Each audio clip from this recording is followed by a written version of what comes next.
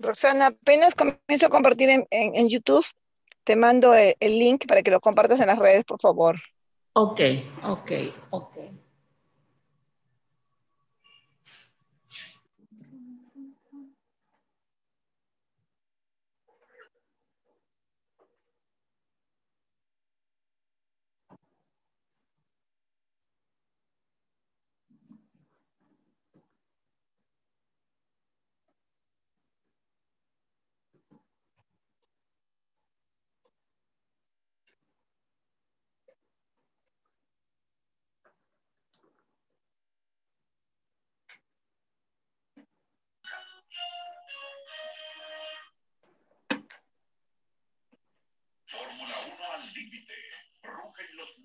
Cada domingo a las 6 de la tarde. Joel Guerra y Yael Arias con las incidencias del deporte más visto del mundo, la Fórmula 1. Además, las últimas noticias del automóvil y el modo deporte. Domingo 6 de la tarde.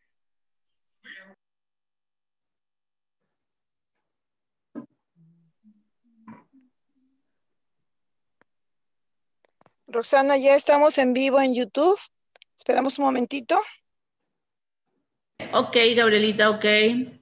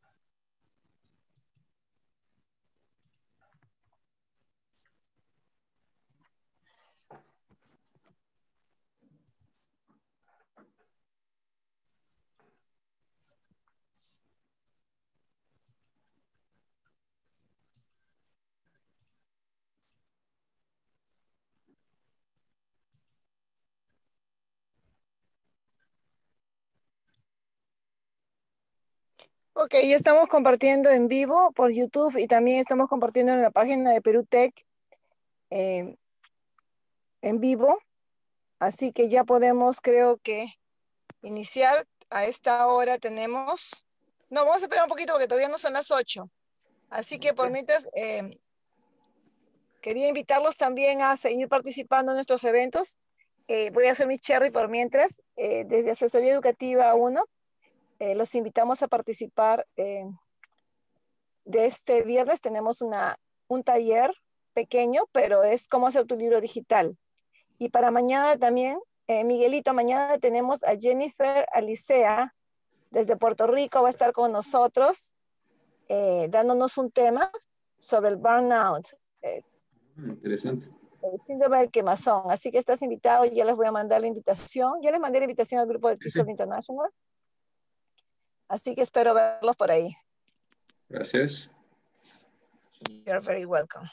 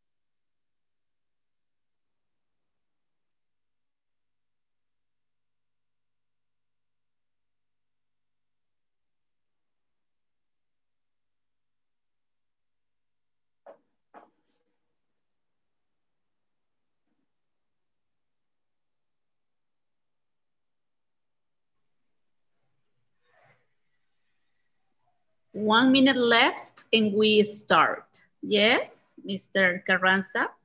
Perfect. Yeah, fine with me. Okay.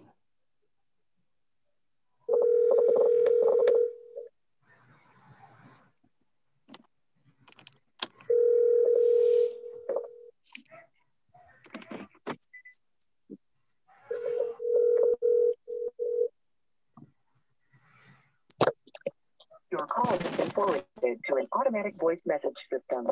Seven, seven, two, six.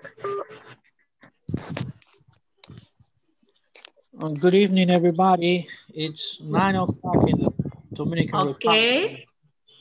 Good evening, dear Mr. Miguel Carranza from El Salvador and dear teachers. Today is the date. We express our gratitude to Mr. Carranza for his patience, time, energy, and passion for sharing knowledge with us today.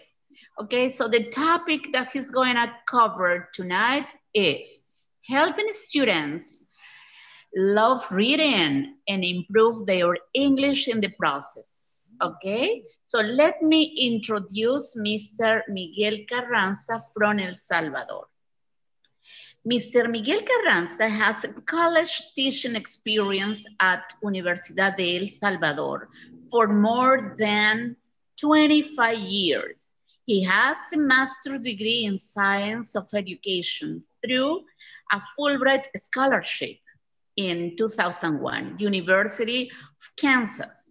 He holds a BA in English from Universidad, from Universidad, excuse me, from Universidad de El Salvador. He is the former coordinator of the BA in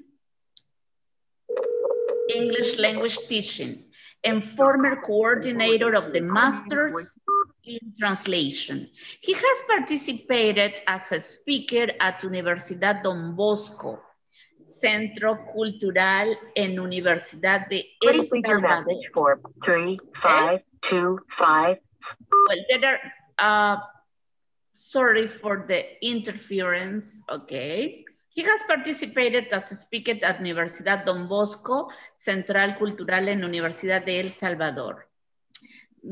TESOL, Mexico TESOL 2010, Panama TESOL 2014, Honduras TESOL HELTA 2018, Bolivia TESOL Beta 2019 at Universidad Libre Colombia 2020 in, a, in public and private institutions of the country in the last fue lo primero que yo hice, pero les vuelvo a repetir, tampoco no quería hacer todos los webinars yo sola, así que pido apoyo y, es, y en equipo Wait, trabajamos. wait a minute. También le agradezco a Kinga Thompson, Oh, que nos ayudó en este caso con Wait Sharing que fue uno de los que tuvo mucho. I don't know what happened. There is a participant here el video that is making noise. Tuvimos también a Mansur Mansuri, que también nos apoyó Body Language, the importance of body language. Okay, please. Sorry for the interference. So tonight, Mr. Carranza is with Peru TEC members and let's give him big applauses. So go ahead, Mr. Miguel Carranza. Thanks a lot. Okay? Thank you very much. Uh, thanks for this uh, warm welcome. Wait a minute, teacher Carranza. Please, dear teachers, could you turn off your microphones, please? Thanks a lot. Okay, Okay. Thank you, Roseanne. Thank you, Gabriela, and also thanks to uh, Gracia Mendoza from Honduras, who um, invited me to participate in these uh, international conferences you've been having. I know you've been working hard, and it's a pleasure for me to be here sharing my ideas uh, in my experience as a professor, and particularly um, in the teaching of reading, which is not a, a difficult, uh, not an easy task, I would rather say. Um, let me start sharing my PowerPoint with you. You can hope you can read it. And it's about yeah helping students love reading. I know it's a I know it's a catchy uh, title, and it's a difficult uh, thing to achieve uh, to um, help students love reading because to develop a love for reading, that's a, a very personal thing. It's uh, very um, challenging, but at the same time, it can be rewarding. So I'll share with you ideas on how to uh, help students uh, improve and develop a pleasure for reading and improve their English in the process. That's my name, that's my email address. If you wanna contact me, if you want a copy of the PowerPoint or, or references for some uh, books or sites, where to get them, right? Okay.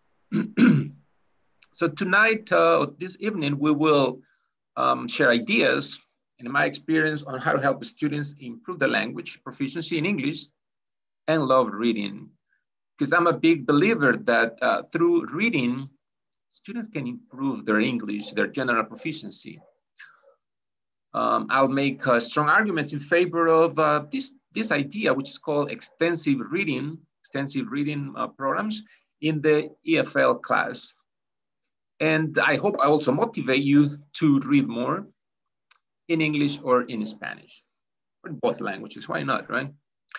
Now it's this is like a like a warning, or or I should uh, yeah I, I should I should acknowledge that this presentation will focus on uh, on teenagers and college students who struggle with reading in English, who struggle with reading. This presentation um, will be about them. It, I will not talk about those students uh, uh this will not help you with students who are good readers. If they are good readers, maybe some of the ideas can help you, but this will focus more on those who have not developed the habit yet, who do not have the habit of reading yet, and those who haven't found the book yet, as they say. As, as an assistant once told me, sometimes uh, you find the book or the book finds you, the book that will help you uh, develop passion for reading. Okay, so I'll focus on, on these students who haven't developed the habit, who haven't improved, uh, who don't have a good reading uh, rate? And I need to also recognize or acknowledge that I have taken ideas uh, from these uh, presentations or this, um, uh, it was a special uh, program was thanks to the American Embassy and to the Department of State, they awarded this uh, scholarship to attend the TESOL uh, conference in Portland. And I attended this particular session uh, by Doreen Edward, Sue Bai, and Bob Patrick, professors, and, and, kind of motivate me to expand this idea. And I, and I shared many of the things they presented. So I will uh, be based on some of my talk on, on these, these ideas. So I need, I need to award, uh, recognize that, acknowledge that. Um, to begin, sort of a warm up, uh, maybe you can help me answering in the chat. How much do you or your students read either in Spanish or in English in terms of hours a week? How many hours a week do you read in Spanish or in English? and I ask that question because um, I think that uh, our students uh, particularly in our countries or in my country, um, reading is not very strong. Uh, some of you have already answered in the chat. Um, let's see if I can find it. Yes. Um, let me see. I this semester I haven't practiced with Zoom. I just practiced with Meet. Um, Okay, but uh, yeah, I was asking you about the time or the number of hours that students um, spend time, right, uh, reading. And I also had this, um, this other question. There was this study done in my country about high school graduates reading comprehension ability in Spanish. It was high school graduates. And they did very poorly in this test. There was a 50% of accuracy uh, of students in this uh, test. So they didn't read very well. They did not understand the main idea. So my point is if they have this problem in Spanish, they will tend to um, also translate this. Okay, okay, Rosana reads two to uh, three hours, uh, two to three hours. Okay, that's a pretty good hour, a week, right? A week. I think it also counts uh, even what you read on the on the internet or on your cell phone, one or two hours, okay? Good evening, at least two hours. Okay. But how about your students, the students you teach? How many hours do you think they read? Um, that's a, that's a good question. It's something we should be um, exploring, right? Because I think if they read a lot, like I was giving a conference recently to Nicaragua, and there was a student who he said he would he would read uh, um, probably three hours or four hours. So I, think it was three hours a day. That was a lot of reading he was doing. So I was telling you, the situation in my country is really bad in terms of reading. But like I said, it's not in all the cases, not in all the levels. You know, some private institutions do very well, but generally speaking, right, this is a general test. But what are some of the common problems that students present when they are reading?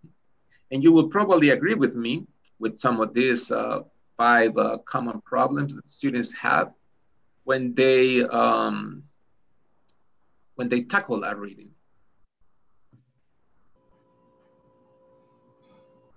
They read word by word they rely too much on their visual information and this impede their, their speed, right? They're reading word by word, they're trying to pronounce it, and this affects comprehension. They focus too much attention on the form. They are trying to find out if this specific word is an adjective or if this uh, word is uh, a noun or a verb, whatever, right? They're trying to, to find out what the function of the word is or, or yeah what is the part of speech the word plays. Okay, um, they pay too much attention to details with the result that they often miss the main ideas and they only see the trees instead of the forest. They tend to focus sometimes uh, on grammar too much instead of the main ideas. Number four and number five, I think I've also, I also have seen that with my students. They have a small reading vocabulary and they depend too much on the dictionary uh, for word meaning. I have a teenage uh, daughter, teenage, and, and, sometimes she's reading in Spanish and she asks me for the meaning. Sometimes I help her, but sometimes I wish she she would uh, try to get the meaning through the context, right? But then I, I, I give her a, a hand. Um, number five has to do with the like sort of what they call cultural capital, uh, limited background knowledge. Students don't know much about what they read. It's because they don't read or they do, do not have a lot of information about the topics they read. As I was preparing for this presentation, I remember once in the TOEFL section, in the reading section of the TOEFL, there's uh, there are some readings, for example, about caves, about caves, and, and, there were I think two types of caves. There were uh, underwater, under the water, and underground, and there were some differences. Like like that was the first time I was reading that. And, and the reading I felt a little bit complicated or challenging because it was something I didn't have any background knowledge about it. So when, when we don't have background knowledge, we don't have any information, so the reading becomes more difficult. And uh, yeah, well, we, probably we will not get the main idea. So those are some, some of the five uh, main problems that students face when they're reading. But what is reading? You should you will you probably have seen this definition that I will show you. You probably um, have the answer to this, but let me refresh uh, your, your memory about what reading is. And I like these definitions because it says reading is a constant process of guessing, a constant process of guessing. So it's, uh, you see, reading is uh, active, right? And what you bring to the text is more important than what you find. So uh, background knowledge is very important, right? This uh, knowledge is very important for you to understand the reading better. That's why from the beginning, the students should be taught how to use what they know to understand unknown elements. And that's why it's important to build background knowledge right? or, or to hit their background knowledge. I also like this other definition by uh, Yoon Meijin that reading is a psycholinguistic guessing game psycholinguistic. You know, it's a we have to use our brains, right? And we have to use also uh, the language uh, or the knowledge we have about the language. So it's a psycholinguistic guessing game that involves an interaction between thought and language. Um, reading involves processes or, or, cycles of sampling, predicting, testing, and confirming. So when we read, we have to do this. Or, our learners or students are supposed to be making predictions, right? As you remember about these uh, reading techniques, reviewing, predicting, uh, guessing word meaning, sch sch skimming, scanning, right? Okay, as we become fluent readers, we learn to rely more on what we know, right? The, the background knowledge. And uh, what is behind the eyeballs, less on, on, the, on the page in front of us.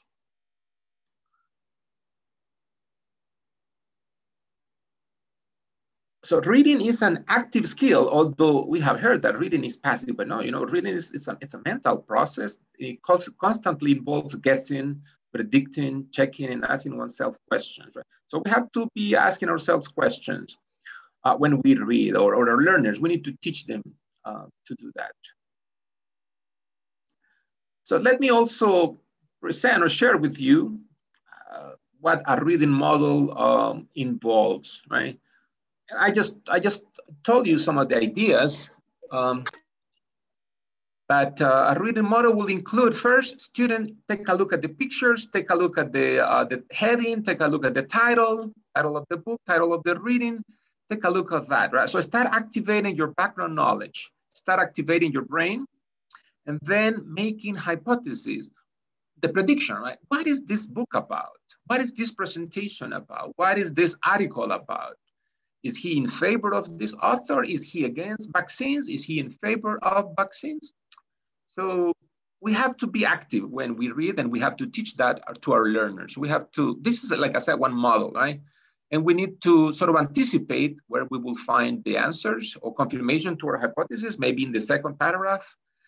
And you know uh, that at the end of a paragraph, well, you should have sort of a summary. At the beginning of a paragraph, also you, should, you have important information. So it, learners should be able to do that, right? Learners, we have to teach them to do that. Um, they have to skim yeah, through the passage, read the first uh, lines, read the last lines, read the conclusion. Sometimes you don't have to read the whole paper, but you have to go just to the conclusions, right? Just to get the main idea or to understand what the text is about. And then, well, number five, it's important you confirm or reject your, your guess, right? You, you say, yes, yes, this uh, book is about that. Yes, I was right. This, uh, yeah, the author is in favor of, of vaccination, for example, or the author doesn't agree that the vaccine will help us, will cure us all. Right? So that's what you will do when you when you get to, to the, this confirmation stage. Then more predictions, right? Or prediction, and later, right, if students have time, do a second reading of the book or of the article that students were supposed to do. Particularly, but this would be more for um, uh, intensive reading, for, for work done in the class. Right? Another model also uh, is known as SQ4R. And this means survey, survey meaning take a look at the title, take a look at the, at the number of pages, take a look at the chapters, get an idea, right? Then start making questions. What do you think the book will be about? What do you think the main idea is? Do you think the author is in favor or against? So learners have to do that. They have to um, ask questions constantly, right? They, they read, uh, recite, sort of uh, summarize, right? What they have read. They, they try to make connections. And then the other R will be for review, sort of uh, check everything, look for an organization of the of the article, of the reading of the book, right? So that's another model. Like I said, we had the first one, but all of them involve uh, preparation. All of them are trying to activate the student's uh, brain or mind or the background knowledge. But now, that was a little introduction to my topic, but now this is probably uh, what I wanna focus on. What is extensive reading, right? What is extensive reading? And uh, briefly, or in a summary, is reading large amounts of self-selected, easy, varied, and interesting material. So it's reading a lot, 100 pages, 200 pages, 50 pages, probably um, taken to be taken into account. But students supposedly should uh, select it should be easy at the beginning, I, I would say, and then varied and interesting material like that the learners like. That, that's the definition. Um, what are the goals of uh, extensive reading? What are the goals of extensive reading? The idea is to fluently read massive amounts of comprehensible language within one's comfort zone to build fluency while consolidating language knowledge. So the idea is for the learner to read, to read uh, one, two, three books per semester, ideally, right? And the idea is also to, de to have to develop a love for reading, so, so learners can develop this uh, love, passion for reading, pleasure for reading. That's uh, one of the main ideas. And they can do it at their comfort zone. Right? This is very important, comfort zone. We should not push them or should not be giving them very difficult uh, material or books when they are not ready. So they, they, feel, they build even confidence while consolidating language learning. What are the benefits? There are many benefits of extensive reading, not emergency room, but extensive reading. What are the benefits? Um, students become better readers, obviously, right?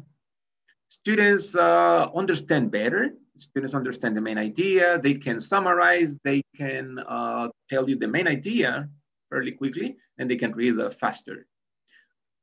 Another um, benefit of extensive reading is students become more confident. Yeah, they feel good, right? They feel they're learning. They feel they uh, can answer. They can um, read anything, for example. Right? Um, another benefit is that the learners have a better reading rate. Right? So they read uh, faster and they read more efficiently. They will probably get better scores in the the standardized test, they will probably get better scores in the reading section of the top TOEFL or the TOEIC, or whichever test they take. Have increased motivation to read, it's another um, benefit. And I have seen that with the student, right? We ask them to read sometimes in the class, and then, and then later they are reading on their own other books.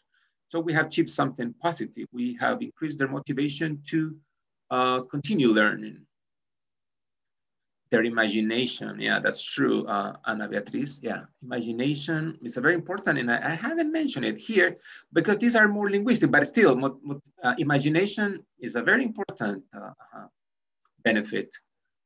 Um, let me see. Okay, oops. Develop richer vocabulary, and that is true. I have seen that uh, students who read or, or practice more or or have this exposure it could be uh, particularly through written.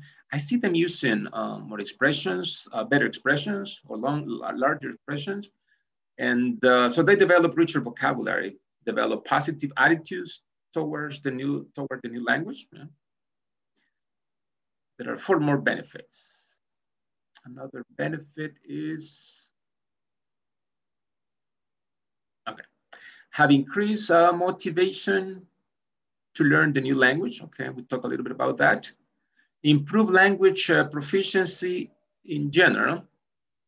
If uh, they read uh, better and they improve vocabulary, they will probably, um, actually it's number 10 is, they'll probably write better, right? When sometimes you can copy or imitate style, their uh, particularly uh, writer's style. And yes, Ana Beatriz, it, um, opens the world to them and they can get different points of view. Yeah, that's totally true.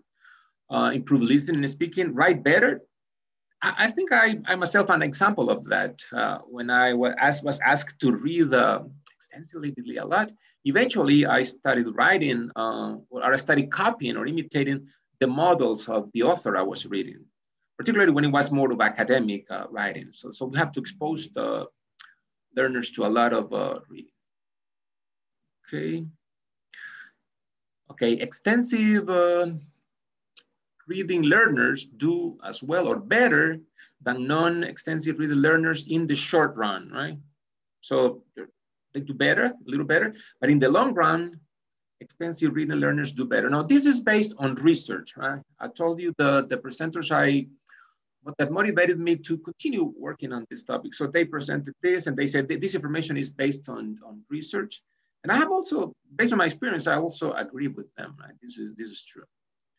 Now, what is the difference between um, extensive reading and intensive? Intensive reading is what we do in the classroom.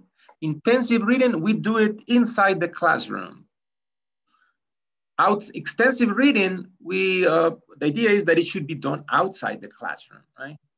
In intensive reading, the students uh, just reading accurately for main ideas, um, for specific information, right? Extensive reading, they do it uh, to, to improve fluency. Intensive reading, the students answer um, study questions, some questions that, that we teachers sometimes ask. And in extensive reading, students get information uh, for their own pleasure. Students focus on, on words, on the pronunciation, yeah, sometimes the grammar. And the extensive, they focus on the meaning, right? And, and the whole, uh, it would be the whole um, discourse, at discourse level. In terms of material, intensive reading, the teacher chooses, right? Sometimes it's often difficult material. In the extensive reading, the, the students are supposed uh, to be choosing the material and are supposed to be choosing sort of easy material, material that they feel comfortable with. It doesn't have to be easy always, could be a bit challenging. The amount of time, the amount of reading, well, in the class is not much, one or two pages. In the extensive reading, they can read a lot. They can read the books, as I, I was telling you, right? In the class, the students tend to read slower because they want to focus on accuracy. They, they want to get the correct answer. In extensive reading, they should be reading faster because uh, they, there are no specific questions to answer, unless they're, that it's used for a quiz or something. Um, used, uh, must use, must finish, they have to finish the reading and they have they, they use the dictionary for um, checking meaning of the words. And in the extensive reading, if students don't like the book, they can choose, they could choose another book, right? That's when they read it for pleasure. And Beatriz said they have time, they have to read the same text more than three times. Yeah, that's true. And when it's uh, intensive. Characteristics of an extensive extensive uh, reading program, right? If you if you decide to work one, if you don't have it, right? Uh, they say, well, the materials should be easy. You know, actually, this this um, in my institution, in my university, we use it with college students, um, but uh, we don't have it like this. But we have uh, we have some courses on reading, and we have tried uh, to have a systematic uh, experience. So we have like a series of books that we'll present later. Not that easy, but but if you could create like a little library, that would be great. I know it's difficult even to find books, right? But okay, students read as much as possible is one of the characteristics of extensive reading. There's a variety of materials on a wide range of topics. Students select what they want to read. They have the freedom to stop. You can get magazines if you could, right? You can have a, like, like I said, a reading um, uh, session or reading um, it would be like reading, reading corner, right? That could be an example. Uh, the purposes of reading are usually related to pleasure, information, and general understanding. So these are characteristics of an extensive uh, reading program. If you choose to establish uh, one. Now, my experience um, with ER, or as the one that is as close as ER, I think it's been systematic. I've, I've been doing it for the last uh, 10 or 12 years that I've been teaching this course called Readings and Conversations. Um, okay, what is, um, oh, okay, here. There is a great potential uh, extensive reading, in extensive reading. My students have done created bookmarks they make creative bookmarks that contain book reports. They have um, done movie posters based on books. They have had book chats uh, and classic book presentations. I will also show you some ideas that uh, what the students have done in classes, but these are students who are in uh, B1 or B2 level. They're gonna be teachers of English. That's what's been done at the university, but it can be done at different levels. Now, this is an example of a bookmark, right?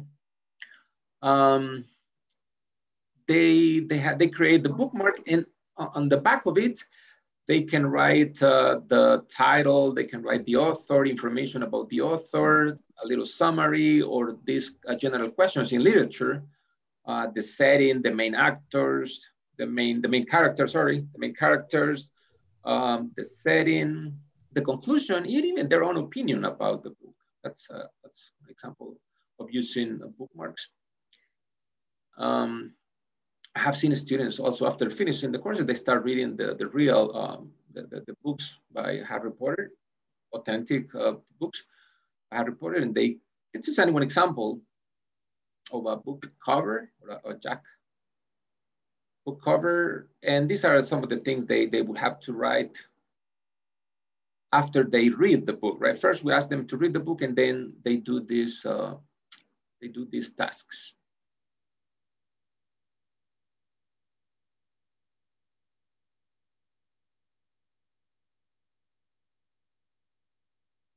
okay, they could create a book cover. The, the, the, elements, what we ask them is yeah, the title, the author, um, or they can even, um, yeah, who the, the illustrators or can, can illustrate the book as well, can come up with a new one. Um, or any information, right, about the book. They can create like a movie poster. And uh, okay, here I think I have the, oh, These are options for book reports that we have asked our students to uh, do in the class. After they read a book, we ask them to do a live performance of Masterpiece Book Review. It's like a program and uh, which reviews the book that they have read. Supposedly they inter, well not supposedly, but they, they, they were, they're supposed to be interviewing the, the author of the book. So they have to find information about the author uh, and they can analyze it from different perspectives. Sometimes uh, students pretend to be psychologists or teachers or lawyers, right? You can have audience participation. Students write questions uh, for a character in their book, focusing on the element, elements of the story, the setting, the conflict, climax, resolution. And the questions are answered in the character's personality. That's one uh, idea, having a, a live performance of a masterpiece book review. Very interesting uh, number two is also make uh, living history. Students dress up as a character from their book and they tell the story in the character's voice, focusing on the key plot elements of conflict, climax, and resolution. I remember we once uh, they talk about uh, this girl from Pakistan, Malala, Malala, I think is her name, and, and they dressed up as a as, as, as a little girl from there, some of the girls and, and the, some others as their father, the teacher. It was very interesting uh, book discussion we had. And they had to prepare for that. They had to read the book and they had to prepare uh, for this task. So it was interesting, a very interesting uh, book report, let's say. Another one is to create, I think this is uh, number three, has to do with the, uh, it's a museum. Like they bring eight to 10 uh, 3D uh, items they have chosen from the story to be part of a museum. They display them and they, they, start, they start talking about them, uh, what the objects mean, mean to uh, them, um, as if they were, this was uh, exhibited in a museum. Uh, what, one of the tasks was the first uh, group will work with the first half of the book, the other second group, when, when, when the book was, when the class was big, they would be working with the remaining half. But this was also very interesting. It's a, a museum, a very interesting uh, task. Uh, have uh, two or three more tasks that we have used in the university. Yeah, my colleagues are also very creative. I like the, the timeline, um, making a timeline of the major events of the book with illustrations. That was very interesting. Uh, students draw themselves and they make uh, the illustrations and then they start talking about uh, Sometimes they draw a map showing the locations where the story, the, the story took place. And they, pre they prepare to explain it to their classmates. These are the, sort of uh, like the general instructions that I, that I give them.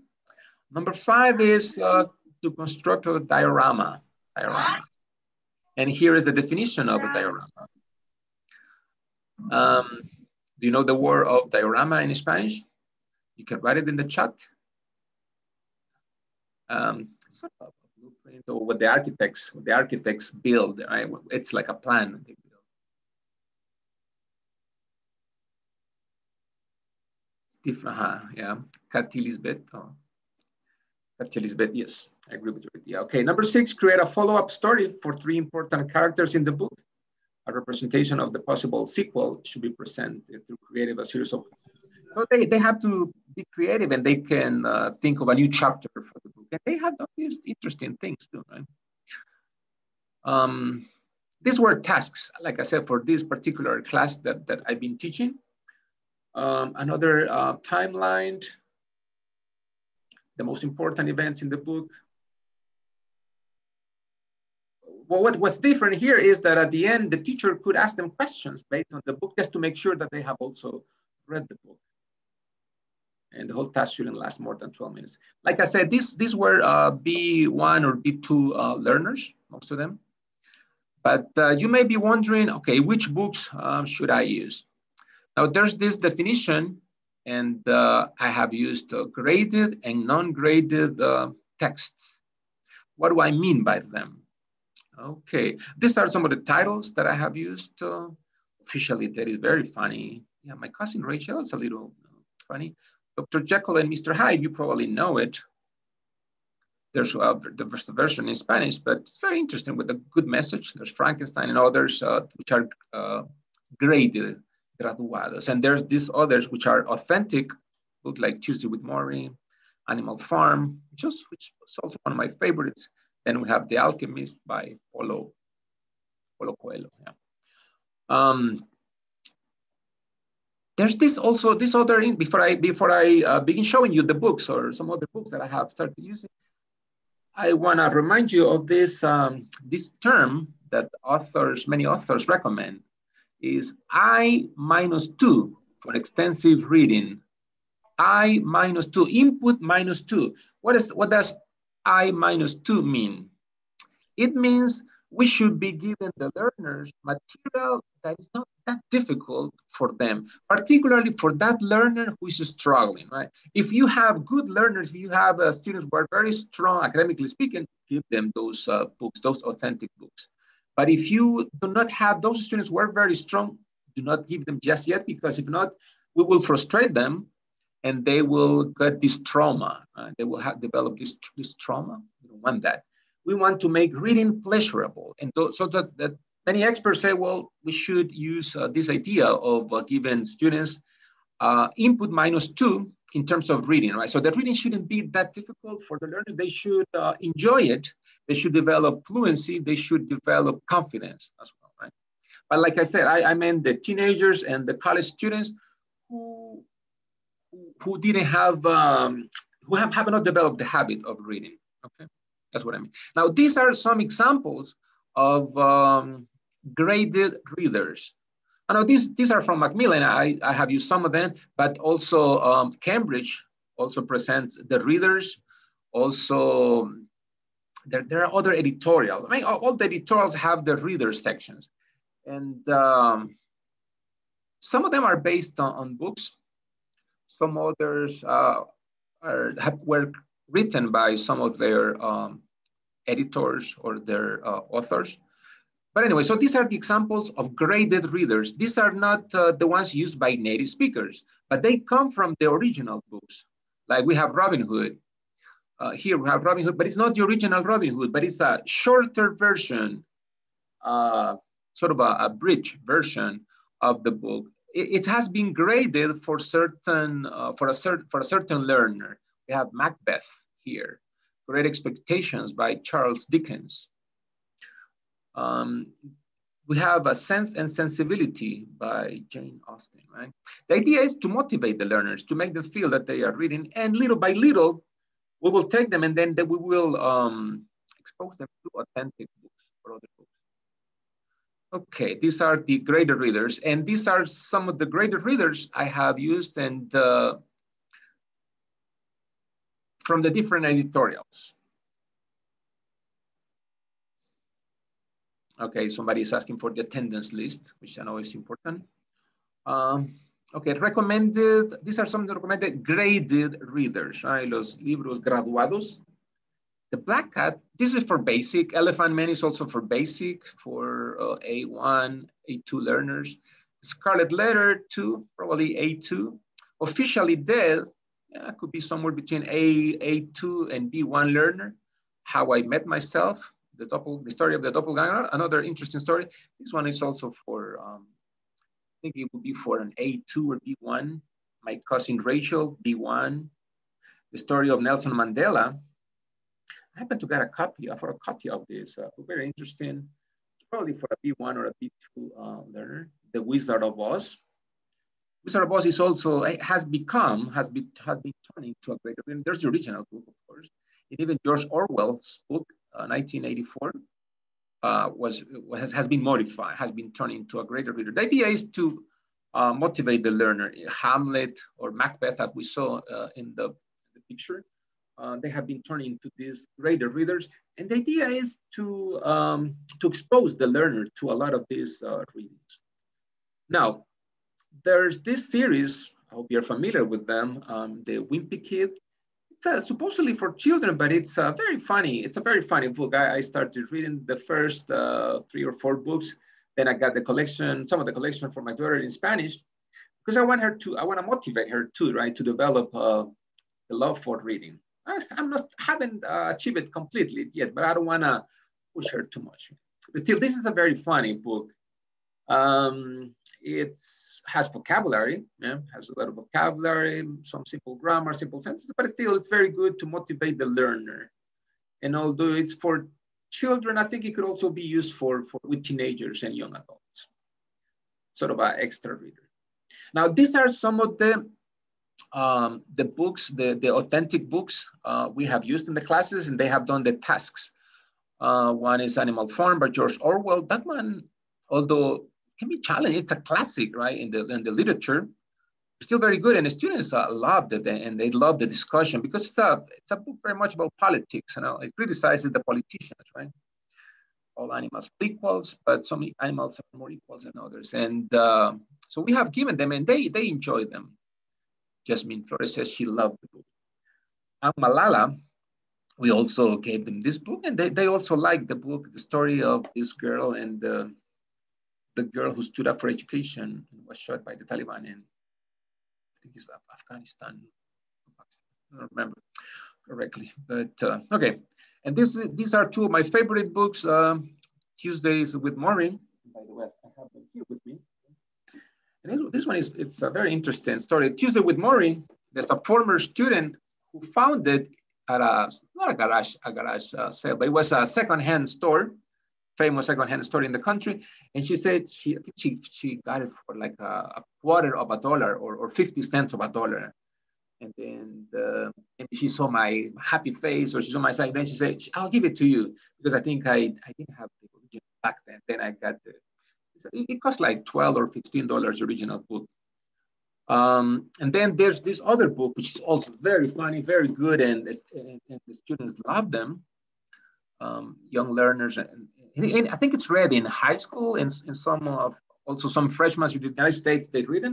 Also, our students at university have, we have been asking them to read it. It's very funny, and it's the story of this uh, Indian kid, right? Native Indian, and many of the students can relate also to a story because a story of, of a poor kid. Diana says, Diana Rosco said that, yeah, Animal Farm is great for discussions, right? Thank you for the feedback. Um, so, so this is very interesting uh, book.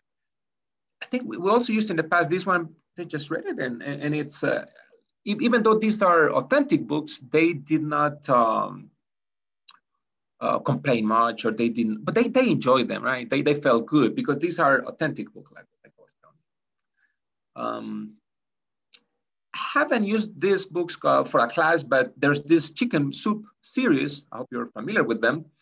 Uh, caldo de, de, de, caldo de pollo para el alma, something like that. I think they're called. And there's chicken soup for the teenage teenager, and there's chicken soup for the mother, and there's a chicken soup for teachers. I have that chicken soup for teachers. I, I read it.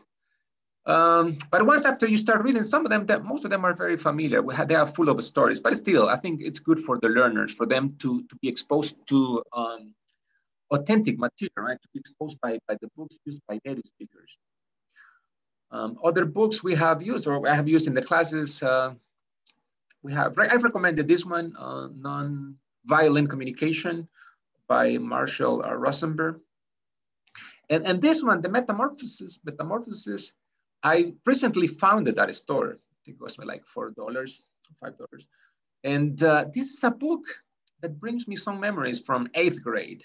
because we were asked to read it, but uh, I didn't understand it much when I was in eighth grade.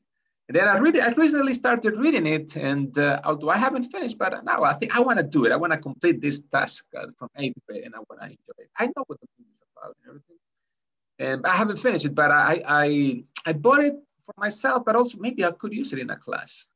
Although you know they read it in Spanish too, right? But still, maybe the vocabulary and the analysis you can do should also be could also be interesting. Now, what do the students think of extensive reading? What do the students think of uh, reading outside the class? Um, basically, students, some of the students tell me, some of the students are on it, they tell me, I didn't like reading because uh, they developed this trauma uh, from high school or from junior high school.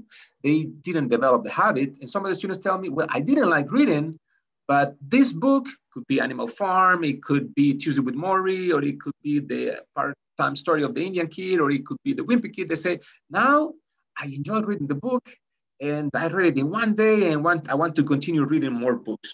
This is some of the feedback I get from them. And, and I see the reaction and later I see them reading books or they develop interest in reading. They see all these benefits, right? So that has been, yeah, my experience. And uh, I also have this belief that if students, um, if we don't help them develop a love for reading, love for reading for pleasure, students should not uh, hate it or, feel frustrated by it. Like sometimes it happens, right? They come from high school or from junior high school and they did not, they were forced sort of to read the difficult books and they, um, but the idea is that maybe later after the class, uh, shouldn't frustrate them. Uh, maybe later they will read more books. Now, there's this interesting American project called the Gutenberg um, Project, and they have uploaded many books. They have uploaded many books that they say the copyrights have expired. Um, and um, let me see, these are the top 100 authors. There's a screenshot of this, uh, from this uh, project, from this site rather uh, the top 100 ebooks. Um, one of them is A Christmas Carol. And actually, that's another book uh, the students have read, Being a Ghost Story by Christmas. But they read the, the graded version, right? The Frankenstein, another uh, classic. Pride and Prejudice by Jane Austen. The Scarlet Letter. I think I, I showed, my students have read it in, in the graded version and some of the other books. Uh, these are the, the top uh, top 100 books that they have, uh, the most popular books people have downloaded. Frankenstein, but Mary Wollstonecraft. Um, oops, I didn't. There are more books here in this site, like I was telling you. And the, the, the, the copyrights have expired. Uh, let me see, there are some of the classic books. So my recommendation is go hit this uh, site, gutenberg.org. Uh, um, you'll find many books in case you want to read or think of using them for your classes. Christmas Carol is a, is a classic, it's a very interesting book. And it's also the graded readers, uh, and you can, you could contact the, some of the editorials in your country, maybe other teachers could have. So in conclusions, guy, my conclusions, um, some of the conclusions have to do with uh, some of the language in the text.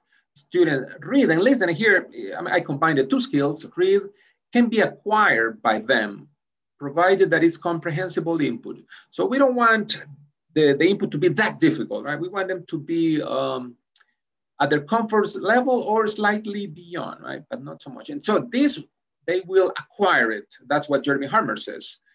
This, he also says, well, we need to provide them a lot of exposure to reading and listening. Right? Because students, uh, if, if we don't do this, students are unlikely to make much progress. So they need to be exposed yeah, to reading and to listening because uh, they will make progress that way. Um, the more reading and listening we give uh, to students and they can su succeed with, the better they will come at reading and listening. And uh, here go, I'm hammering the same idea. Students who read and listen a lot seem to acquire English better than those who do not. So we have to um, help the learners read and also give them listening. And some other, well, some of the conclusions, I, some of the main ideas I've been um, hammering in my presentation has to do with promote reading in and outside the classroom, find reading students could possibly enjoy, and depending on the student's level, you could use graded readers or use some of the authentic books. Thank you so much, guys, for your attention. Time for questions and comments. Okay, thank you, Mr. Carranza. We we learned a lot with your presentation and uh, what are your suggestions? I have a question for pre-reading or what strategies? I, I don't want to say the correct ones, but some that really work with you because reading is, is necessary for teachers and students and, and for the world. You know, if we read, we have vocabulary, we can understand many, many, many things will be benefit teachers and students and people who read. So how about pre-reading? What are your suggestions or comments about that? I, I think uh, one of my main uh, uh, ideas or one of my, my, my best, uh, my favorite practices to activate students' background knowledge. Sometimes they don't have it, but if not, we have to create it, right? We have to prepare students when they are reading something, for example, about if they get to read about vaccines, right? The vaccination now will be very popular, right? But some people have their questions about uh, vaccines, and I, I, and I was taking a look. You can say you can, for example, the vaccination, right? You can use, as a noun, you can use vaccination. You can use uh, vaccine. Now also as, as noun, you can use it as a verb, vaccinate, and uh, you can you can use the, the, the informal term shot, right? The shot. And um, so we have to expose the, the, the, the, reader or the student to, first we need to activate them, their schematic, need to activate their background knowledge, try to get them interested in the topic. So that's, that's probably, get them interested in the topic and little by little, okay, start um, offering them some options. Okay, you have, there's this book, there's this other one. So also probably um, um, find their interests find their interest, right? What are they interested in, right? What are sometimes they they don't show it, right? But they have some some interest, and uh, you know it's important also to to find yeah about the pandemic. Um, how should we evaluate the reading skill uh, in the time of the pandemic? Actually, um, Teresa, the, the activities I share, it's one way, but of course those are tasks. But you can also have uh, the classical um, test. You can have the classical multiple choice, choice test. How to evaluate reading. Um, you can evaluate it in a classical quiz. You can use Google Forms, right? One way, and, and, to make it to make it easy for you, you can give them the options A, B, C, and D, right? And you grade the, the faster that way, right? That could be one way of, of evaluating reading. Um, easy way, right? Give a classical test. But if students multiple choice, yeah, Mercy. But if students can uh, connect, can have a virtual session, maybe uh, uh, a task or a book discussion could be one. But it depends on the on the conditions or on the the resources you have in your institution. But yes, multiple choice is one, one, one easy way to do it. Okay, thank you, uh, Jimmy. Okay, questions, comments?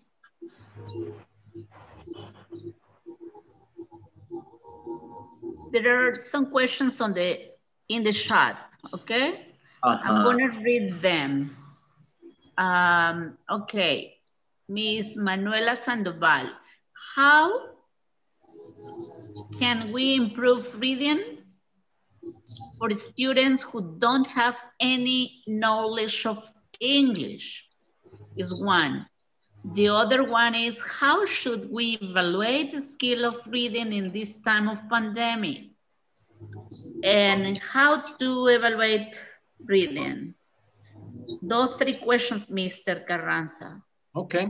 Uh, to the question about how to improve reading for students who don't have any English knowledge, Uh, that's a difficult one. But then again, I think um, finding their interest, activating their background knowledge, um, trying to make any connections uh, about the reading you have, the reading that they would read, and their own knowledge of their own uh, context can be important, uh, depending on the topic, right? But of course, you don't want to give them very difficult reading because if not, you will frustrate them, right? They will, they will hate reading.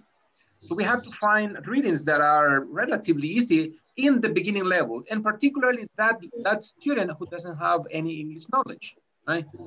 But, but I think, Manuela, if the student, if the learner is someone who likes to read, he will not be afraid of reading in English. But the problem is that they don't like to read even in Spanish. They're, they're even the, the vocabulary is limited. But then we have to work on that, right? We have to motivate them and expose them to but then the big challenge is finding those readings, right? Finding material, which is not that easy, right? But then how to evaluate it? I said, well, some of the tasks uh, that we use and they can, if, but it will depend on your resources. If they can record a video, that's great. But if not, they could, uh, um, you could have a, a, multiple choice test and send it in, for example, in Google Forms or which other, whichever uh, other uh, platform you can use. Diana says some of the learners do not like to read because in basic education they were forced to read some books. Uh, and that's true. Sometimes they are forced to read uh, very difficult books and they don't have, they don't prepare them for this. Okay, uh, Erasmo Torres is asking me a question. Do you think our students don't enjoy reading because of the high use of technology? And how can we motivate them to read ebooks in these pandemic times? Um, if you could find the books in a digital format, I have had students who read them on a, on a cell phone, but sort of a quote. But the problem is uh, if they don't read, uh, sometimes they, they prefer to be on the phone, right? Maybe if we could find some books on PDF, that would be great. But if sometimes we cannot find them, right? Then we will have to they will have to read a physical um, uh, physical copy of the book, but that's a difficult question, uh, Erasmo, because uh, we have this big distraction, right? They are on the phone a, lot, a big percentage of the time, right? They are on the phone most of the time, and they don't uh, they don't uh, like to read, or they they probably say it's old-fashioned. Why don't I? Why should I read it here on, on my telephone? But sometimes it's very difficult to read like uh, a book that is 50 pages or 60 pages. But if you could find it, great. Like I have had students read uh, graded books on, a, not everybody, but that could, I mean, you have to give it a try, right? Try to find them. If not, it will have to be a physical copy, but I know it's difficult, right? But um, let me see. Well, I show you the, the Gutenberg project. But most of those are authentic books. Those are not graded. So it will be difficult for a learner to find uh, uh, a book for, for, someone who doesn't know much English. So it's difficult. Uh, Manuela okay, Mr. Carranza, yes? Ana Beatriz Echeverria is raising her hand. Ana Beatriz, did uh, you write the question, please? Thank you so much. Mr. Carranza, I want to ask you for a couple of advices because I work with uh, very young learners, the first grade, and uh, even though it's difficult for them to learn in Spanish, it's a problem of this age, these times. I, I understand that.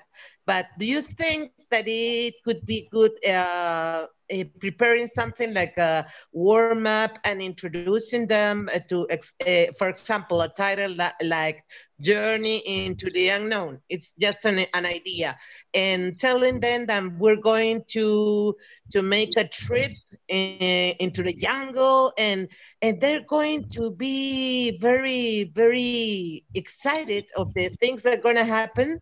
And they're going to be ready to, to listen to the next chapter and the next chapter and maybe it's a good way to in, to engage them to the, to the reading well in my opinion i'm convinced that it starts home but in these times i understand that uh, everybody's working and uh, parents are running and so on and they're not prepared to like in my times, I'm a, I'm, I'm a, an old person, but can you tell me an advice about it? But I, I actually, I, I like your idea. I agree with you. I mean, uh, we have to uh, prepare them mentally for the for the reading. We have to prepare them mentally, particularly with those who don't have much knowledge, right? Like one of your partners was asking, and what you do is great. I mean, you start creating motivation, right? You're motivating them, and they want to know. Although you do, you do it more like a storytelling, but with Tom So Good, I think it's a it's a very good start because they're they're very young, but uh, at least ideally you will later motivate them. But of course, you will need resources. You will need books, right, to expose them to, to the books. Sometimes right, pictures, colors. Yes. Thank you so much. You're welcome. A pleasure. Okay. Listen. Yes. I would like to share an experience. Okay. Yes. So I I worked with some disabled students that they have dyslexia and you know they they don't know how to read because they have problems brain problems.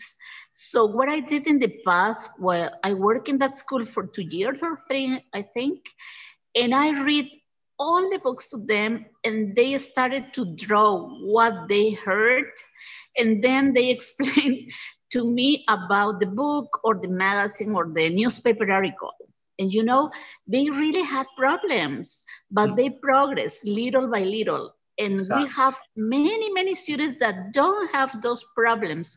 So mm. it depends on of the teacher because we need, as Miss the, the lady that commented before, we need to motivate them with drawing, with pictures, with uh, a trailer, with a poster. I don't know but we need to motivate them first. And, and that is considered sometimes like pre-reading. If we make them love in reading, they will read whatever they are and for the rest of their lives. Exactly. Pre-reading is very important. Yeah. So yeah, the, the pre predicting, previewing, very important skill. Now, uh, someone someone asked if uh, if it's a good strategy to translate the reading into Spanish. Um, sometimes, depending on the level of the learners, you can use it as a technique to make sure that they have understood um, the topic, that they have understood the main ideas. So sometimes it, translation is okay, but do not overuse it, right? Just to make sure that they have understood, you can use it. But, but it's not uh, about teaching um, English through a sort of a grammar translation, no, right? But it's just, just to make sure that the students have gotten the, the, the main idea, that's okay. You can use it as a, as a technique. Uh, and Beatriz says costumes to create an attractive atmosphere. Yeah, that's also another uh, great idea. Bringing pictures, as some of you have said, to motivate them, right? To motivate the, the learners.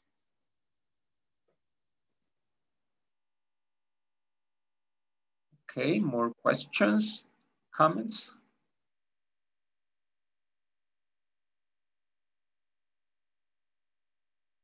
Let me check if there are questions in the chat. Okay. In my opinion, the reason why students don't like reading because the desire for reading is something that should be developed from the beginning of a student's education and also at home. Mm -hmm. Yes. Okay. We, we, we teachers have to motivate them. And, I think uh, I, I read this or, or I heard this technique that we, we teachers should bring like a book to the classroom, like different book every week. Even though probably we don't read it, but just to show students, oh, the teacher is reading, oh, the teacher is reading different books as a, as a technique to motivate the learner, right? So I thought, I thought that was very interesting, kind of deceiving, right? But uh, that's just to encourage them to learn.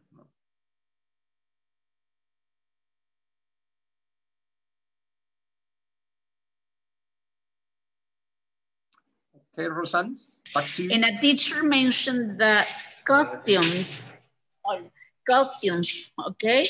Some teachers read first so with their students, and then they present like a play, you know? Yes. And that is that really works. That really that really works, okay? So having some plays. Or later, right? For for uh, as, as, as an A assessment. post, mhm, as a As a post activity, you know? Uh-huh, yeah. Yeah. an activity. Yes, they can dress as as the main characters, right? As like a recreation too. Yes. Okay, dear teacher, do you have any other question to Mr. Carranza? Please, any comment? No more questions? Let me check. Excellent presentation, like a recreation. Yes, we fully agree. Okay, thank you very much, Mr. Carranza, for your presentation. it was very nice. We have learned more today. Well, I, I, I felt very engaged with the books and I want to have them right now. you know, there are different graded books, you know, graded books, and that is very Correct, important. correct. Yes. Yes. Yes, you need to contact the editorial, right? For because of the copyright. Yes, so thank you very much. You're it's welcome. very, very important. It's very Thank you for important. Peru inviting me. Yes, Peru TEC members and friends are very happy to have you in this international conference, okay? And we invite you for, and everybody, the, we are going to have our last conference this Saturday at 1 p.m. Mr. Leonardo Mercado from the United States and owner of NYC Learning Technologies Company will have with us, will be with us this Saturday at 1 p.m. That will be our last conference. On Thursday, I think we have a webinar and on Friday we have an invitation too. So all the teachers are invited. Saturday, 1 p.m. And on Sunday is the closing ceremony of our long, very long conference because it started on August 25th and it will finish on December 20th. Almost four or five months. We have been doing this. We have been learning a lot. And thanks God, we have awesome lecturers from around the world, from 16 countries, you know, Wow, technology technology is perfect for us sometimes uh-huh. if we don't lose the connectivity and we thank covid because we are having this conference around the world and we are learning i am receiving a lot of comments from teachers they are really happy because they are learning little by little and they are becoming not the best but the a good teacher for their students. That's the point. And the most important thing is that human beings and teachers cannot be alone. They need to be together, sharing ideas, sharing knowledge, sharing books, sharing links, and maybe sharing a bad experience because we have different kind or type of students. And we learn how to face those problems. That's the most important thing. So dear teachers, we really say thank you again to Mr. Carranza and to you. It's almost nine, seven, and we are having this conference and we have been working during the day, but it said to me, but I'm on vacation, but I'm doing volunteer work for Peru TEC. And we are eager, anxious to learn every day because we don't stop learning and Peru TEC is always for you. So please see you this Saturday at 1 p.m. with Mr. Leonardo Mercado from the United States. And on Sunday, uh, we, we're gonna have a panel on Sunday at 10 a.m. with teachers from Argentina, Brazil, Cuba, I think Honduras too, and let me see, Colombia, and Bolivia also. Okay, that will be Sunday at 10 a.m. And at 11 o'clock, we will have the closing ceremony that is, pre that is being prepared with a lot of love, with our hearts, with our energy. And this work is not for people that are doing this, it's for teachers, but we are learning, we are learning. Thanks a lot, Mr. Carranza. Thanks to Ms. Gracia Maria. And thanks to all the teachers that are with us tonight. So thank you very much and see you Thursday and Friday. Bye-bye. Goodbye, everybody. Good night. Good night. Pleasure. Thank you so much. Good night. Bye-bye, teachers. And thank you very much. You're welcome. Bye. Bye-bye. Bye-bye. Thank you so much. Bye-bye. Bye. Thank you. Thank you. Bye-bye. Thank you.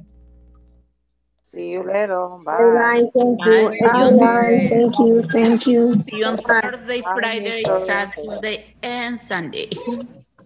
Bye, Miss. Good night. Thank you. Bye, bye. Blessing for all. Bye, Mr. Carranza. Thank you very much. You're very your presentation. Bye, Mr. Miguel. Goodbye, everybody. Bye from Dominican Bye-bye. Take Republic. care. Bye bye. Bye, take care. Bye. Bye bye. Excellent presentation. Thank you so Thank much. you. Thank you. Thank you for for being here.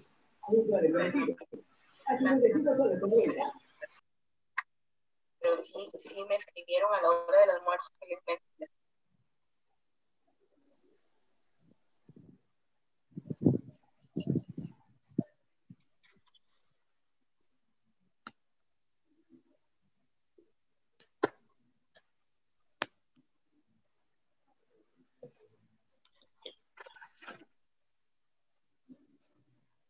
Nathan